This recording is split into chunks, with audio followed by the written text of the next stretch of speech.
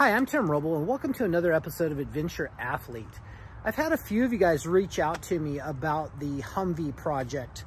Um, so if you've been following the channel, you know that uh, I'm leaving in January to do at least one year in Oscar Mike, my expedition uh, vehicle build. But the Humvee, uh, I searched this vehicle for about a year and found a super clean 1165 has AC 6.5 uh, turbo in it with a four speed. Uh, super clean. It's the 11.5 chassis. Um, I did do a two inch body lift on it and I've Raptor lined it.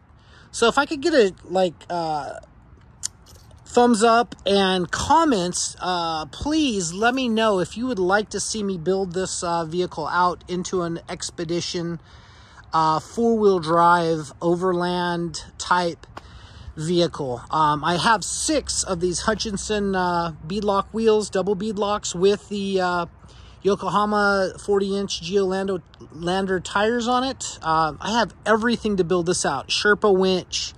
Um, I have my SnoMaster air, uh, SnoMaster uh, refrigerator freezer. I have a sink. I have a water tank. I have a pump. Um, I have a cubic mini wood stove.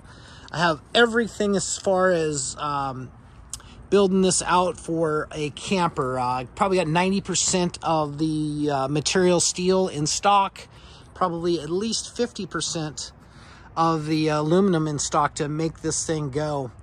So when I got this, I did a, a Raptor liner on it um, and painted it white just to kind of at least paint it as far as I could go um, with um, things that I'm not going to cover up, I should say. Um, so I am going to do dual spares on it and kind of build it like I'm sure the people that have been watching my channel are familiar with my GMC Canyon adventure truck.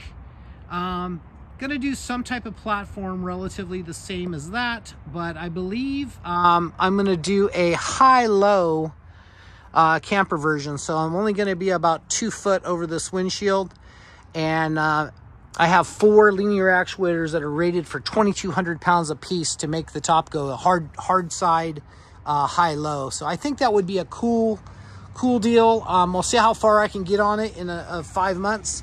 But if somebody wanted to buy this, I think I, I'm going to let it go down the road so I just don't have one more distraction before I leave. But um, please in the comments, uh, let me know how many of you would like to see uh, this vehicle built out? Is this something that I'm going to be uh, ripping you off of? Not letting you see me build this, but uh, I got some really neat concepts of what I want to do on this. Um, kind of a next level from what the GMC Canyon was. Um, and even up in the game from what I did in my big expedition truck, Oscar Mike. Um, as you build stuff, your skill level goes up. I'm not trying to really take on another project. I really don't want to um, as I'm selling off the shop, but I can pretty much build this thing with uh, chop saw and my uh, MIG welder.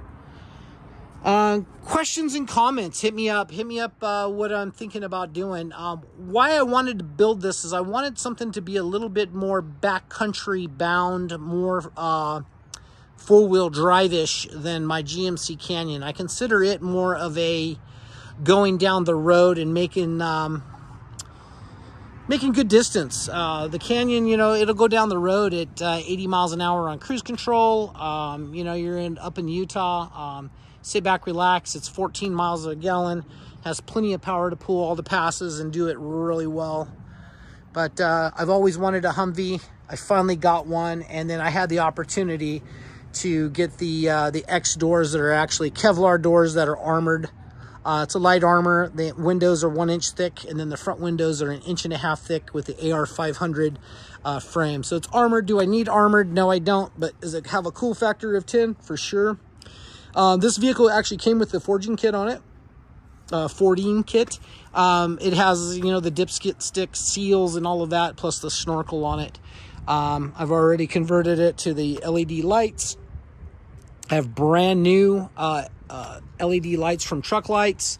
And then I have an infrared um, light that goes here that would be uh, kind of a cool military homage uh, to some stuff.